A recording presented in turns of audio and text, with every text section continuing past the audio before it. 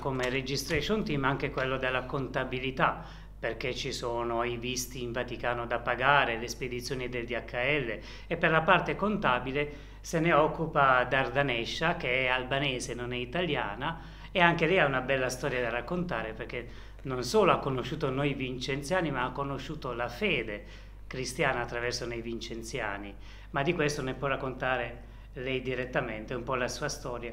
Ecco Nesha, come hai conosciuto uh, i vincenziani e la fede cristiana?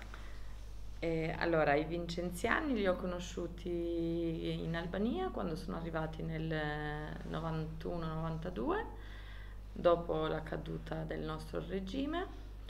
E da allora ho iniziato a frequentare la parrocchia, eh, ho fatto la catechesi, mi sono battezzata. A quanti anni ti sei battezzata? A 15 anni, perché ovviamente l'Albania era sotto il regime comunista, di conseguenza non c'erano le chiese, almeno quando sono nata io non era possibile eh, il battesimo.